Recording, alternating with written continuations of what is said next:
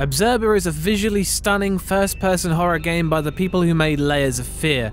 It's set in a dystopian future and following Dan Lazarski, an elite police officer referred to as an observer, whose speciality is invading people's minds. Atmosphere. This is a hard one.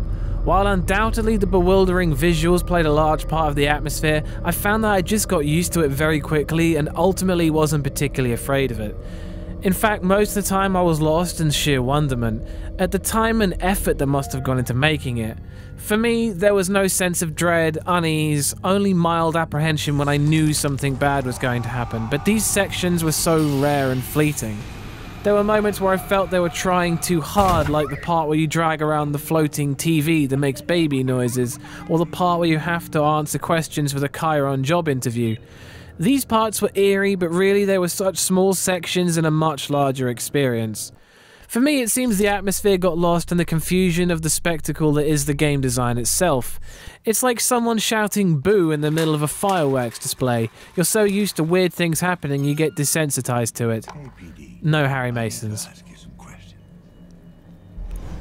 Scares. With the whole game being strange and confusing, it's hard to pick out the genuinely scary moments.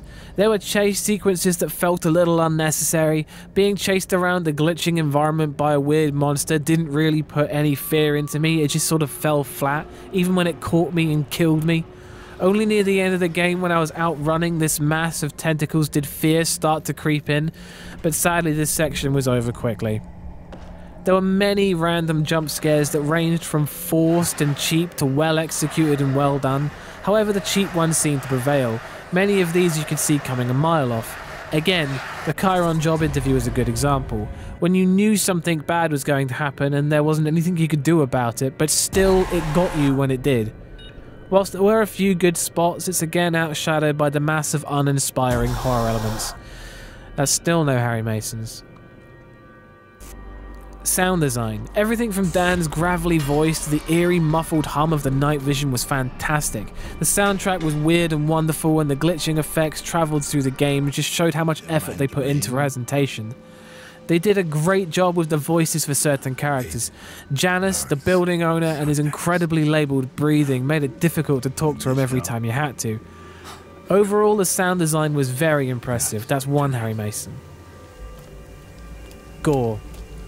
Whilst there are a few sections where I found Dan clambering through mounds of organic tissue and entrails, these sections were brief. In my opinion, this didn't need to be a gore fest, and what was in the game was there merely to represent the organic elements of travelling through these damaged mines. That's two Harry Masons. Story the basic story is Dan receives a call from his estranged son and finds a headless body at the place they were meant to meet. After scanning the place, he finds a contact in a place called the Stacks. He arrives at an apartment block and gets caught in a lockdown. He finds various murdered people and invades their minds to find clues on what happened to his son. I found the story confusing, but with large parts of the game, you see yourself delving through broken minds and dreamlike environments, making sense of various people's pasts from nothing more than 10 to 15 second moments. It's understandable. As the game progresses, there are strong hints of Frictional Games as Soma, which turns what would have been an interesting plot twist into something familiar, and the concept is unfortunately done better in Soma, making the final score 2 out of 5 Harry Masons. Whilst Observer is a frankly dazzling experience, it seems to rely on common horror tropes that have been done many, many times before, and many times better as well. If weird and bewildering experiences scare you, then maybe you'll find this game scarier than I did. Again, I'd like to remind you the whole thing is down to my opinion in horror games, and if you don't share this opinion, then that's cool. I get it. I'd like to point out that whilst I spent too much time admiring the glitch art walls, I did not scream like a banshee or run away from the computer, and I advise you don't either. There'll be more horror reviews in the pipeline, and thanks for watching. And remember to always go check out Bumps in the Middle of the Night.